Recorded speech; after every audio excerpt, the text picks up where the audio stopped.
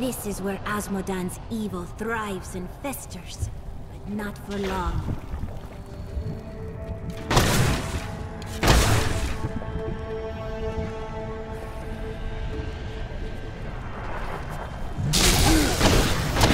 Your fear betrays you!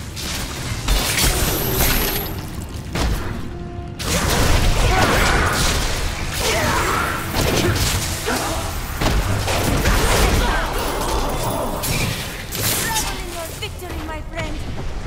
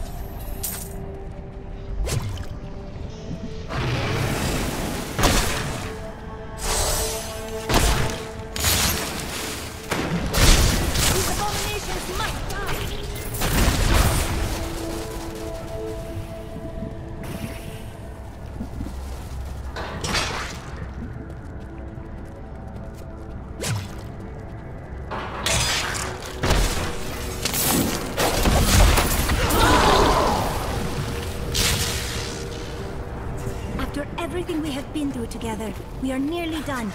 Azmodan will die by our hands.